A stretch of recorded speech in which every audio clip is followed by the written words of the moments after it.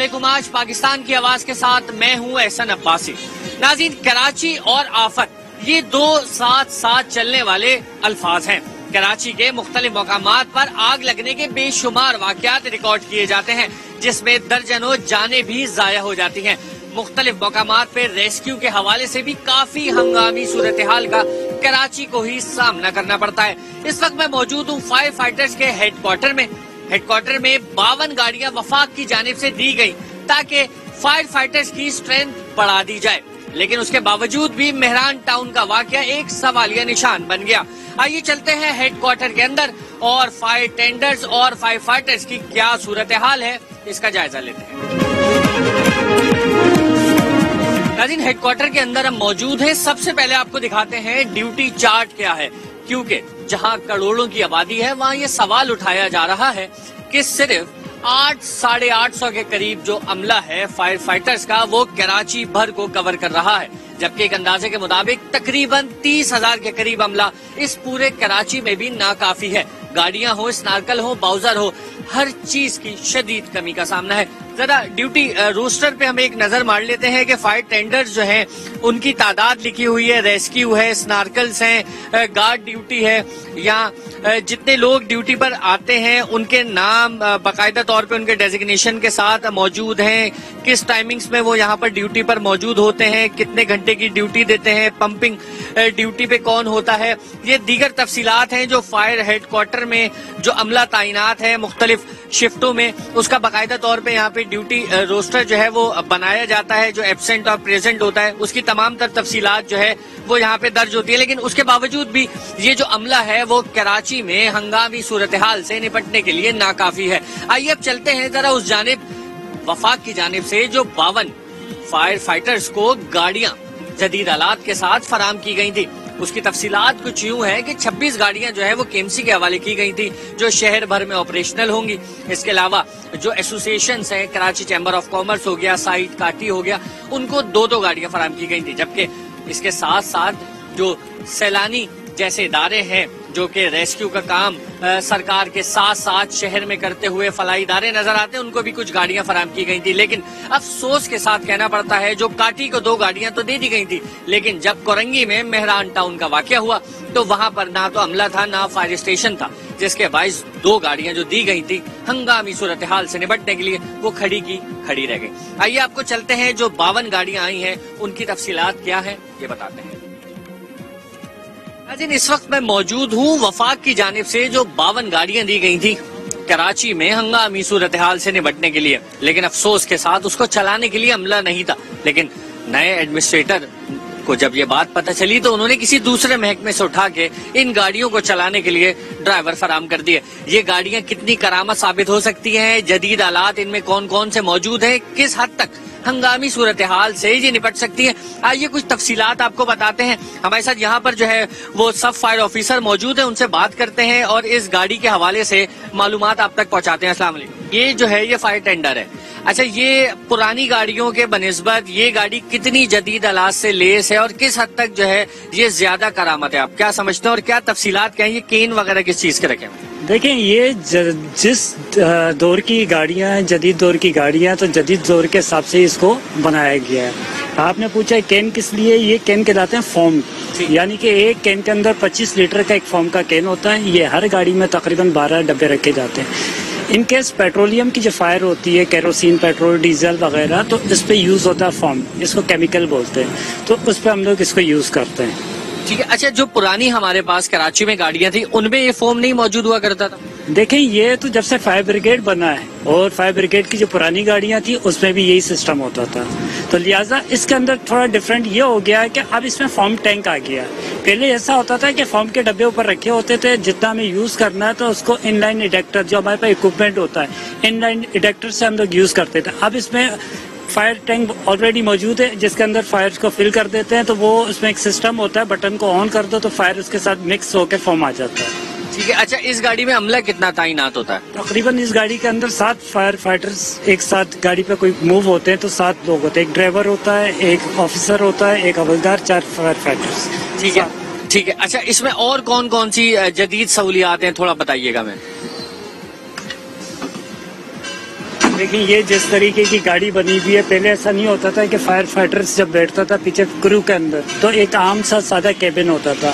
ये total AC लगा हुआ है इसमें। यानी कि फायर फाइटर्स भी सुकून से बैठ के हादसे पे पहुँचे हादसे पे काम करे तपिश के अंदर गरमाई पे थोड़ा आके रिलैक्स हो जाता है। चाहे वो जा, जाते वक्त हो या वापसी पे हो। बॉक्स किस चीज़ के रखे हुए? ये बॉक्स है इसमें मल्टीपर्पज टाइप की चीज़ें हैं जो कि फायर इक्विपमेंट में काम आती है। फॉर एग्ज़ाम्पल कि एक नॉर्मल फायर होती है वहाँ पे हमें घुसना वहाँ पे स्मोक ज़्यादा है। वहाँ पे कोई जैसे कोई विक्टम है उसको हमने रेस्क्यू करना है। तो इस तरीके से ये मार्क्स हैं। मार्क्स के बॉक्स हैं पूरे। ये इसके कंटेनर हैं। इसको यूज़ करते हैं। इन केस अगर हम समझते हैं कि आग का धुआँ और आग की नोयत ज़्यादा है, उस पर ब्रीथिंग ऑपरेटर्स ये रखा हुआ है। जिसको ये पीछे आप देख रहे हैं ब्रीथिंग ऑपरेटर्स कहलाता है। इसको पहन के एक ऑक्सीजन सिलेंडर होता है। उसकी लिमिट्स होती है पंद्रह मिनट की। पंद्रह मिनट में जो फायर पार्टी होती है, उसका जो पहला जो क्रू है, वो अंदर पहन के जाएगा। किसी विक्टम को सर्च करेगा, आग को सर्च करेगा। फिर बैक आके वो इतला देगा कि इस तरीके की आग है तो वो लोकेट करता है एरिया अच्छा ये कितने घंटों तक आग पे काबू पाने की कोशिश कर सकती है? इसमें कितना पानी मौजूद होता है?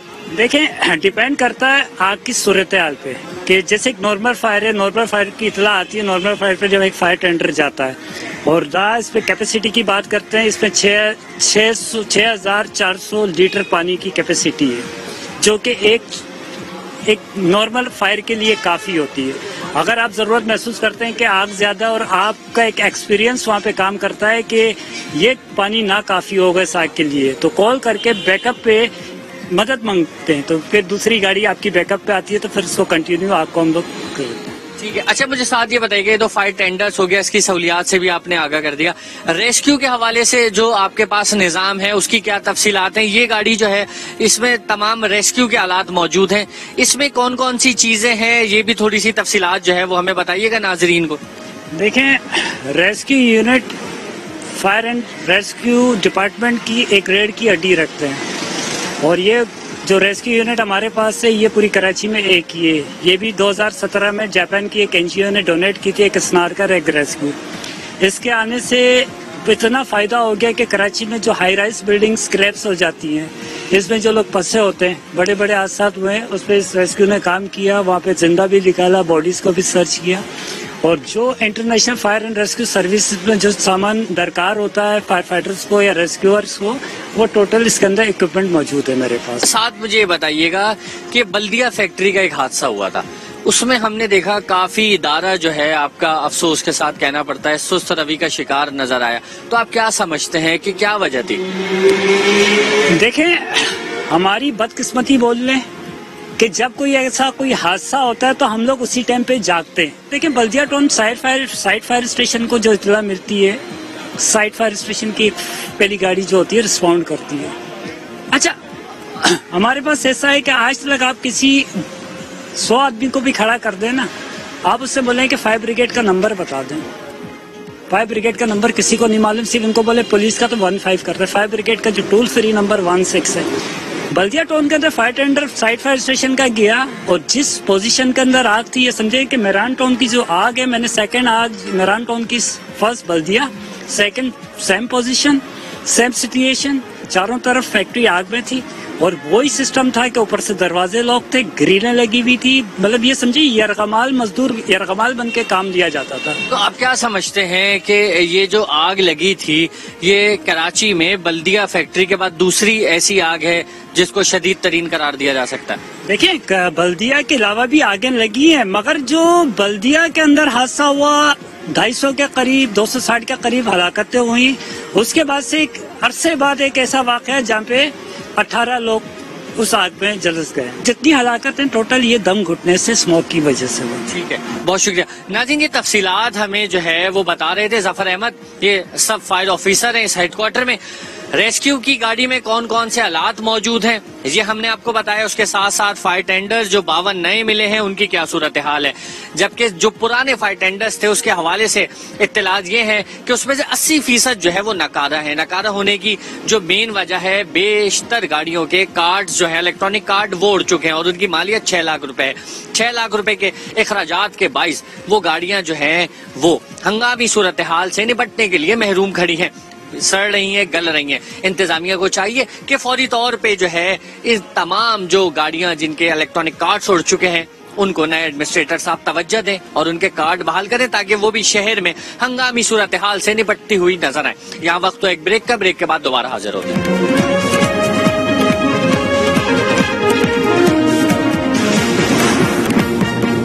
वेलकम बैक नाजीन। नाजीन, आइए अब चलते हैं इदारे के चीफ फायर ऑफिसर की जानेब और महकमे के हवाले से कुछ मजीद तफसीलात जान लेते हैं। उन्नीस सौ सैतालीस से भी ये सिस्टम चल रहा है यहाँ और क्याम पाकिस्तान से पहले ये दो स्टेशन थे यहाँ पर, एक सदर फायर स्टेशन और एक सेंट्रल फायर हेडक्वार्टर। कराची का पहला स्टेशन एक नाजाओं ने बना था, उस वक्त आबादी मेरे ख्याल सखी हसन से आगे नहीं थी। अब आबादी बढ़ती जा रही है, उस हिसाब से सोराबकोट फायर स्टेशन भी एक खुला है, नॉर्थ कराची भी खुला है, औरंगी फायर स्टेशन भी खुले है मलिर भी खुले, जैसे आबादी बढ़ती जा रही है उस हिसाब से। लेकिन फिर भी कम है ये, तादाद कम है। अगर किसी के पास हालात लगे हुए भी हैं तो उनको ऑपरेट करने वाला कोई नहीं है कि वो ऑपरेट कैसे होते हैं। इसलिए कि वो ट्रेन स्कॉट नहीं रखते अपने पास। अगर हाई राइज बिल्डिंग है, दस मंजिल इमारत है तो उनके पास जो चौकीदार अगर कोई रखा है तो मेरे ख्याल उसकी साठ से पैंसठ साल की उम्र होती है उस चौकीदार की, और वो भी कोई ऐसा फराइज अंजाम नहीं दे सकता, जबकि हाई राइज बिल्डिंग दस या पंद्रह मंजिला भी है तो उस पर कम से कम पाँच से छः फायर फाइटर उसमें मौजूद हो उनके अपने, या फिर जो भी उनके सिक्योरिटी गार्ड है, उनके पास वो तरीकाकार हो, अगर प्राइवेट सिक्योरिटी वो रखते हैं अपने पास तो प्राइवेट सिक्योरिटी वाले को आप ये ज़रूर चेक करें कि प्राइवेट सिक्योरिटी का जो एजेंसी है सिक्योरिटी प्राइवेट सिक्योरिटी एजेंसी जो है, जो आपको सिक्योरिटी गार्ड फराम कर रही है तो उसमें लाजिम है कि उसको फायर फाइटिंग आती हो। क्योंकि सबसे पहले आग अगर लगती है तो जो चौकीदार या सिक्योरिटी गार्ड होता है, वो देखता है। और उसके इल्म ही नहीं होता है कि मुझे करना क्या है। अगर वो आग बुझाने का हालात जो अगर लगे तो उसको वो ऑपरेट नहीं कर सकता, इसलिए कि ओवर एज होते हैं वो। नाइन्टी परसेंट, सेवेंटी से ninety percent security guard over age लोग हैं। किसी इदारे के रिटायर लोग हैं जा तो। और वो लोग वहाँ पे सिक्योरिटी ऑफ़र अंजाम दे रहे हैं। जब हम उनसे पूछते हैं कि इसको चला लेते हैं, आप फायर फायर डिस्ट्रीब्यूटर चला लेते हैं, आप भाग के कितने मंजिल चढ़ सकते हैं? तो वो जवाब मुतमिन नहीं दे पाते। ये इसलिए एडमिनिस्ट्रेटर साहब ने कदम उठाया है। बहुत ही अच्छा कदम उठाया है। इसमें अब हमें भी जो हम काम करने सर्वे करने जाते थे तो हमें पूरी डिटेल वो नहीं दे पाते थे। अब इसमें उन्होंने टीम में शामिल किया है कि डिप्टी कमिश्नर्स के साथ मिलके इनका दोबारा से ज्वाइंट इंस्पेक्शन सर्वे हो रहा है और यह बहुत तेज़ी से हो रहा है और इस पर अमल करने का वक्त उन्होंने एक महीने का दिया एडमिनिस्टर साहब ने। हालात जैसे भी रहे, इस महकमे के फाइनेंशियली प्रॉब्लम रही, कुछ भी रही, कभी हथियार डाल के नहीं भागे। हैं अगर उनकी शिफ्ट खत्म हो रही है आठ बजे उनकी, लेकिन वो अपना काम निपटा के घर आते हैं और घर पहुँचने तक मजीद एक दो घंटे वो लग जाते हैं, उसका भी वो मुआवजा नहीं मांगते। लेकिन शिफ्ट वाइज ड्यूटी करने में चार घंटे हमें इसके अलाउंस मिलते हैं, जो कि अभी फाइनेंशियली प्रॉब्लम्स की वजह से कम बेच लेट होते जा रहे हैं, लेकिन मिल जाते हैं। मजीद स्टेशन बनना चाहिए और अभी हाल ही में एक प्रोसेस में भी था एक स्टेशन, ये हसत मोहानी कॉलोनी, पाक कॉलोनी जिसको हम ओल्ड एरिया कहते हैं, जिसको बड़ा बोट का नाम दिया जाता है। उधर भी हमारी केएमसी की अपनी लैंड है और वो उस पर भी काम चलने के लिए चल रहा है, क्योंकि वहाँ पे कोर्ट मैटर हुआ हुआ है तो उस ज़मीन को इंशाल्लाह जल्द से खाली करा के मजीद और स्टेशनों का इजाफा भी करने की तजवीज़ है। और नए अपॉइंटमेंट की भी तजवीज़ है, क्योंकि ज़ाहिर जो हमारे यहाँ सर्विस कर रहे हैं, काफ़ी लोग रिटायर हो गए, इंतकाल कर गए। कुछ लोग शहीद भी हो गए थे और उनकी फैमिली मेंबर्स को भी इस महकमे में उनको लिया हुआ है। जो सहूलत उस फैमिली के, उस शहीद के थी, उस शहीद की जो सहूलत थी, वो उनको, उनके लॉकिन को दी हुई वो सहूलतें। हर जगह पे हमें प्रॉब्लम्स आती हैं, ज़्यादातर ओल्ड सिटी एरियाज़ के अंदर, क्योंकि ये हैवी व्हीकल्स दाखिल होने में प्रॉब्लम्स होती हैं। और जब हम दाखिल हो रहे होते हैं तो हमसे हमें जो प्रॉब्लम्स आती है, जो एंबुलेंस सर्विस के लोग हमारी मदद करने के लिए और जो मुतासरी हैं उनकी मदद के लिए आते हैं। लेकिन परेशानी उस वक्त हमें ज़्यादा हो जाती है कि ड्राइवर जो है, वो अपनी गाड़ी लॉक करके वो उस जगह पे खड़ा हो जाता है जाके जहाँ पे उसका काम नहीं है, जहाँ पे रेस्क्यूअर का काम है फायर फाइटर का काम है, वो उस जगह पे पहुँच जाता है। ये थोड़ा सा मैं इस तरफ़ तवज्जो दिलाऊँगा। और कुछ मीडिया की गाड़ियाँ भी ऐसी जगह पे पार्क हो जाती हैं। ज़ाहिर है वो आप भी कवरेज के लिए आते हैं। लेकिन ये चीज़ देख लिया करें कि क्या हमें हैवी व्हीकल्स लाना होती हैं। और साथ साथ वाटर बोर्ड के जो पानी के बाउजर है, वो भी आते हैं। हम उनको भी रास्ता में खुद बनाना पड़ता है। अब हम फायर फाइटिंग भी कर रहे होते हैं, रास्ते भी हम बना रहे होते हैं। इसमें बाकी जो इदारे हैं उसमें हमारे सिटी वार्डन भी हेल्प करते हैं हमारे, केएमसी के सिटी वार्डन भी मौजूद है, इलाके की पुलिस है, फिर हम उनसे रिक्वेस्ट करते हैं कि हमें स्पेस चाहिए, गाड़ियाँ मजीद आ रही हैं तो उसमें दीगर जो स्काउट्स हैं, उनको, उनसे भी मैं कहता हूँ, बाकी और जो इदारे हैं, जो एन का काम करते हैं, उन्हें चाहिए कि हमें आके ऑर्डन कर लिया करें और मजमे को ज़रा कम कर दिया करें, ताकि जो नुकसान जो हो गया, मजीद बड़ा नुकसान और ना हो जाए। कई जगह पे ऐसा होता है कि अल्लाह ना करे, कहीं पे हमने ये देखा है कि कहीं ब्लास्ट हुआ है और लोगों का मजमा लग गया और उसी लम्हे कोई दूसरा ब्लास्ट भी हो जाता है। तो ये चीज़ का ख्याल किया करें इन चीज़ों के। ऐसी हादसा वाली जगह पे एकदम से अनट्रेन आदमी आगे ना बढ़े। एक आसान सा जुमला होता है कि आग लग गई, खुद ने कुछ इंतज़ाम नहीं किए हुए थे। अब ज़ाहिर इंक्वायरी होगी, सवाल जवाब होंगे तो फट करके एक जिनका ताल्लुक नहीं है, उस जगह से जिसके यहाँ आग लगी है। लेकिन दूसरे लोग इन्वॉल्व होकर सिर्फ़ शोर शुरू करते थे इस बात का कि फायर ब्रिगेड देर से पहुँचा। फायर ब्रिगेड देर से पहुँचने की वजूहत समझ में नहीं आती कि क्यों ये कहते हैं। आप या तो ये बोले कि आपने इतना देर से दी। हमें तो आपकी कॉल पे ही रवाना होंगी ना गाड़ी, आप कॉल करेंगे तो। जब आप कॉल नहीं करेंगे तो हमें नहीं मालूम कि कहाँ आग लगी है। आप कॉल करेंगे तो गाड़ी आउट होगी। पहले वो शायद अपनी नंबर ढूंढते होंगे। फायर ब्रिगेड का नंबर किसी को मालूम नहीं होता है। मोबाइल सबके पास होते हैं, लेकिन मैं ये सवाल मजमे में करता हूँ, जब हादसा के ऊपर लोग कहते हैं, देर से आई तो मैं उनसे यही सवाल करता हूँ कि मुझे बताइए फायर ब्रिगेड का नंबर क्या है? तो नंबर देने से कतराते हैं साइड हो जाते हैं। तो बर मेहरबानी, ऐसे इल्ज़ाम से थोड़ा सा गुरेज किया करें, और ऐसे कड़वे सवाल भी आवाम के बीच में ना करें, क्योंकि उसमें कुछ लोग मुश्तिल भी होते हैं आपके उस सवाल को रिएक्ट करते हैं, और फिर वो हम पे ए, उनको सराहें उनकी हेल्प करें आप। क्योंकि लोग अपना जान माल औलाद को छोड़ के उस बिल्डिंग से उस मकान से भाग रहे होते हैं और हम भी उसी गोश पोश के पुतले हैं और हम भी उसमें दाखिल हो रहे होते हैं। आप तो हौसला अफजाई करें हमारी मदद करें। गलती किससे नहीं होती? है होता है गलतियाँ भी होती हैं। लेकिन ये देखें कि इसका इम्पैक्ट गलत ना जाए कि उनकी इस कारकर्दगी के ऊपर सवाल निशान ना बने जो इतने कम वसाइल में भी इतने कम वसाइल में वो काम कर रहे हैं। और दुनिया में तो इस फायर ब्रिगेड डिपार्टमेंट के लोगों को तो हीरो का करार दर्जा दिया हुआ है नाइन इलेवन के बाद से। हमारे यहाँ जो है, कम से कम कुछ नहीं दे सकते तो तारीफी कलमात दे दिया करें, हमारे लिए बहुत खुशी होगी। नाजिन, कुछ साल कबल सिंध गवर्नमेंट की जानब से महकमे को ये पाँच पाँच करोड़ रुपए के फाइव टेंडर्स दिए गए। लेकिन अब ये नाकारा खड़े हैं। वजह यह है कि इनमें जो इलेक्ट्रॉनिक कार्ड लगे हुए हैं, वो कार्ड खराब हो चुके हैं। जिनकी मालियत पाँच से छह लाख बताई जाती है। पाँच से छह लाख रुपए की वजह से ये करोड़ों रुपए का टेंडर खड़ा होकर सड़ रहा है, गल रहा है, लेकिन इसकी मुरम्मत और कार्ड की तब्दीली नहीं कराई जा रही। यहाँ वक्त तो एक ब्रेक का। ब्रेक के बाद दोबारा हाजिर होते हैं। वेलकम बैक नाजीन। नाजीन इस वक्त जो है अब्दुल अहाद साहब हमारे साथ मौजूद हैं। फाइट फाइटर्स और फाइट टेंडर्स के हवाले से मजीद क्या तफसीलात हैं?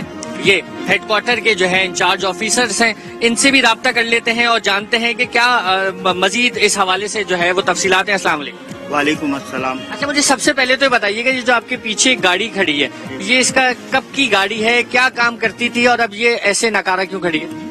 आ, मेरे भाई ये सन 1912 की गाड़ी है और ब्रिटिश के टाइम से ये फायर स्टेशन कायम है। ये जब से ही हमें मैं समझता हूँ विरसे में मिली है।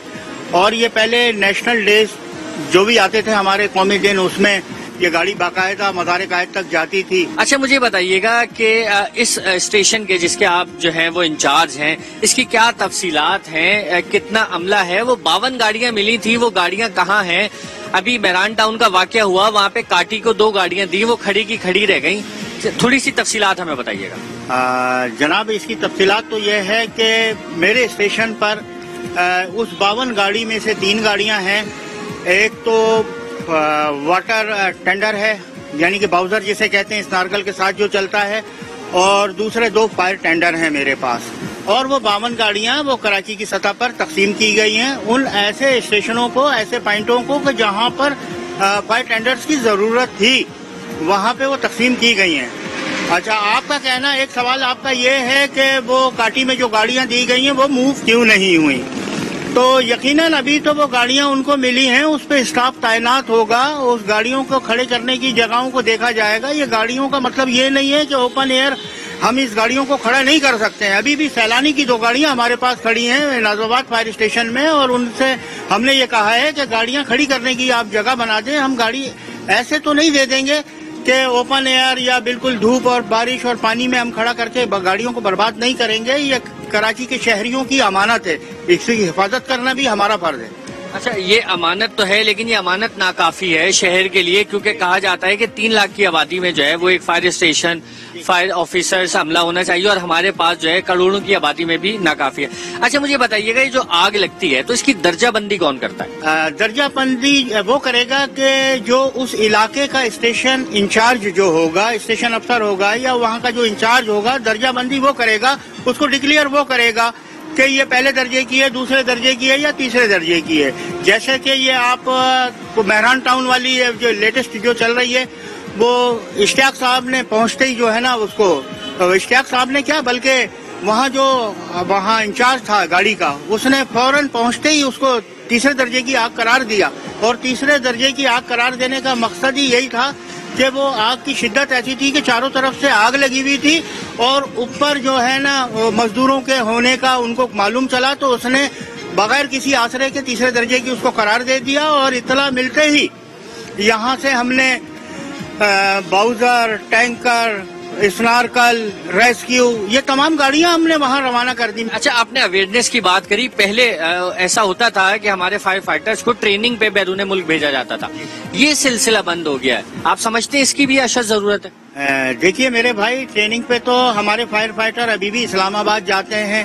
बैन अवी सतह पर जो फायर फायर फाइटर ट्रेनिंग करने जाते थे तो वो सिलसिला अभी जरा रुका हुआ है ये अपने इंटरेस्ट की भी बात होती है और डिपार्टमेंट जिसको भेजना चाहे। सबसे बड़ा रोना हमारे साथ जो है ना फंड्स की कमी का है।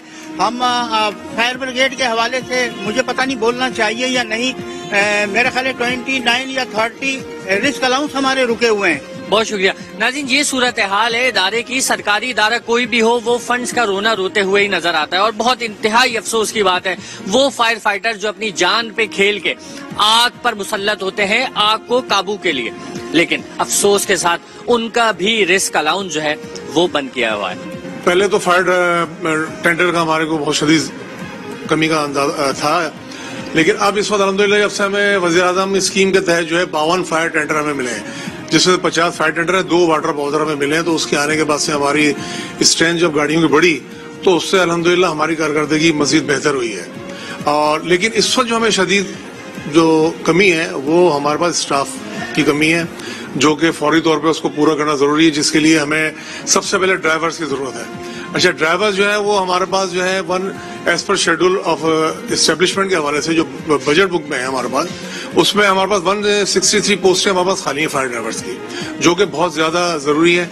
तो उसके हवाले से हमें रिकमेंडेशन सी एफ़ ओ हमारे जो चीफ फायर ऑफिसर है मुबीन अहमद साहब, उनके थ्रू हमने रिकमेंडेशन एम एस के थ्रू फिर एडमिनिस्ट्रेटर के पास पहुंचाई। वहाँ से उन्होंने हमें 42 ड्राइवर्स निकाल के दिए हैं एमपीडी डिपार्टमेंट से। मशीन पुल डिपार्टमेंट जो है, वो हमारे पास काम करता है। आपको पता है कि वो नाले की सफ़ाई वगैरह, सारी हैवी मशीनरीज वहाँ खड़ी होती है। तो वहाँ पे मशीनरी आउट ऑफ़ ऑर्डर होने की वजह से ड्राइवर्स वहाँ पर ज़्यादा थे। तो उन्होंने हमें बयालीस ड्राइवर दो सितंबर को हमें सेकंड सितंबर में एक ऑर्डर इशू किया है। मैं अपील करूँगा हमारे एडमिनिस्ट्रेटर साहब जो आए अभी नए मुर्तवा वहाब साहब। हमें उनसे बहुत ज़्यादा उम्मीदें हैं कि वो जो अट्ठाईस माह का जो हमारा हमारे फायर एंड रेस्क्यूअर का जो ओवर टाइम है, वो फायर ऑफिशियल्स और फायर अफसरान का भी ओवर टाइम उसमें शामिल है।